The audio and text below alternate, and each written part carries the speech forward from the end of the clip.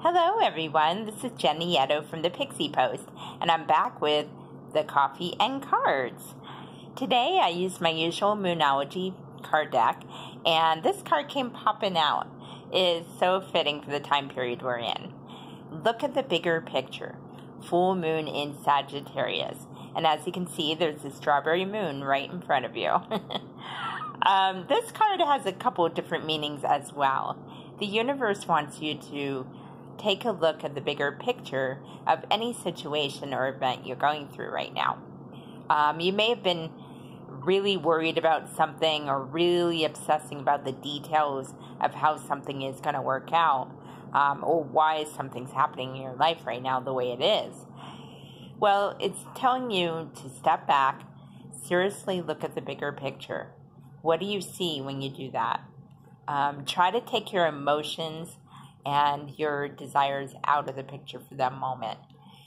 See what is unfolding and why it's unfolding.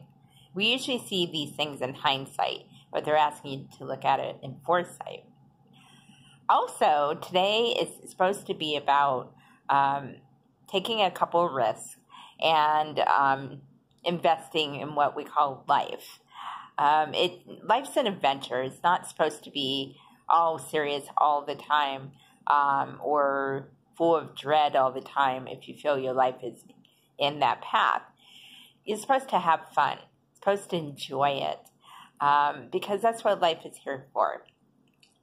Also, um, if there's something you haven't expressed um, to someone, today's the day to do it. Um, do it with confidence, not overconfidence, but do it in a way that will uh, manifest a lot of good things. Um, today is just the time to fully express yourself in one way or another and shine that light through the world in your own way. And once you do that, you will start getting momentum in whatever it is you seek. Um, again, thoughts are everything, intention is everything. So keep that in mind as you're doing these things today. Know that you're a powerful being and that you are going to manifest wonderful, wonderful things. You'll see. Um, sometimes it takes time, but today is the day to get the momentum going. Okay, well, that's the message for today. I hope you all have a beautiful Friday.